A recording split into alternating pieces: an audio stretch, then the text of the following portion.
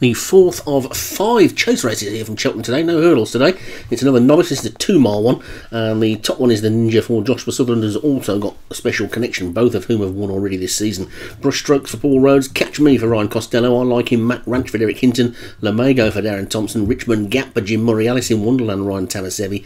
Bees for Lunder for James Shea. Close to the Heart, Leon Van Rensburg. Enemy of State, Paul Rhodes. Making Memories for Craig Allen. Singita Chrissy for David Robertson. And Zarex for Craig Beckwith. So 14 of them then in this speed test for the novice chasers. Called in and away they go. And the grey at the back, Lamago, just thinking about it for a while before he set off. And I like him. Matt Ranch is also towards the back. But at the front end of the field then, it's Zarex who's going to lead us into the first of the 13. But out jumped on the outside by Brushstrokes, trying to give Paul Rhodes a quick fire double. But an interesting day for Paul Rhodes already today with a couple of fallers in one race and then dead heating with John Morgan in the last and the most exciting finish I think I've seen so far this season. It's Brushstrokes in the lead then net from Zarex as they get over that one. Lamago, all that keen to race to start with, he's now up there in the leading pack and those three will take this fence, which will be the last on the next circuit. And the Craig Beckwith Zarex was right down on its nose and didn't appear to uh, want to jump it all that much. But they're swinging left-handed now. Looks to be going okay on the flat. Got a bit of time as they swing left-handed before the next fence to get himself back settled. And Lamago, the grey on the outside, is the leader. Catch Me is really struggling to catch the rest of them at the moment. He's already tailing off. But it's Lamago in front from Zarex on the inside and Brushstrokes between the two. Then comes the Ninja as they take that one. A mistake that time by the enemy of state, I think it was. That's Paul Rhodes' second runner. Jumping at all well. And Beast for Lunder is the final one in shot as they take the water. Catch Me.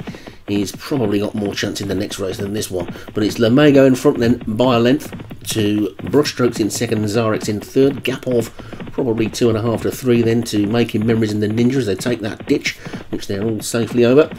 The Leon Van Rensburg horse close to the heart, which I think has already fallen once this season, jumped that really slowly. And Zarex again was a bit slow and has now dropped back in third place. But Lamago is happy in front, leading by a length to Brushstrokes, tucked in behind in second, a gap of a couple into Zarex as they take this ditch, which they're all over, and there goes Catch Me, probably getting a little bit closer to be fair to him, and Lamago is continuing to lead them by about a nick to half a length as they take number nine, and a good jump again by the leader. The one that didn't jump it all that well this time was Singita Chrissy, and that one's now shuffled down towards the back of the field as well. But it's Lamago in front, then Brushstrokes in second, and Zarex in third. Alice in Wonderland is creeping up on the outside in fourth. The two Joshua Sutherland horses are running together as they take number 10, and suddenly we find ourselves we've only got three more fences to take, and it's Lamago in front, then by a couple. To Brushstrokes, Zarex, Alice in Wonderland. The one that's now coming nicely around the outside is Enemy of State, who made a really bad mistake earlier on, but seems to have recovered well from it as they take the third from home.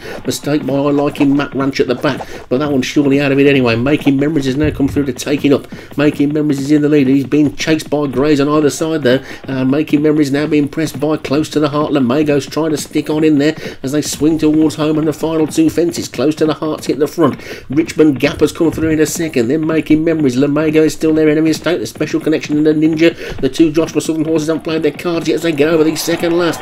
It's close to the heart in the lead. Making Memories is trying to close. Lamago's trying to fight back. Richmond Gap is third. Over the final fence they go. Slightly better jump on the middle of the track by Making Memories. And Making Memories is starting to burst the clear now. It's Making Memories by two, three lengths. And Making Memories is powering up the Cheltenham Hill and racing towards the line and taking a claim for a to be the head of the anti-post betting for the Arkle as Making Memories takes it then. Making Memories is the winner of the special connection second. Ice in Wonderland third and a Ninja and close to the heart. Uh, and Enemy of State and Brushstrokes dropped away. Think Catch Me finally got round. They all stayed on their feet and Making Memories an impressive turn of foot after jumping the final fence. Powering up that hill. We in a few notebooks for the Cheltenham Festival, but there's a long way to go before then. So Making Memories takes it for Craig Allen. The special connection for Joshua Sutherland was second. Alice in Wonderland for Ryan Tamasebi third. The Ninja for Joshua Sutherland fourth. And Richmond Gap for Jim Murray was fifth.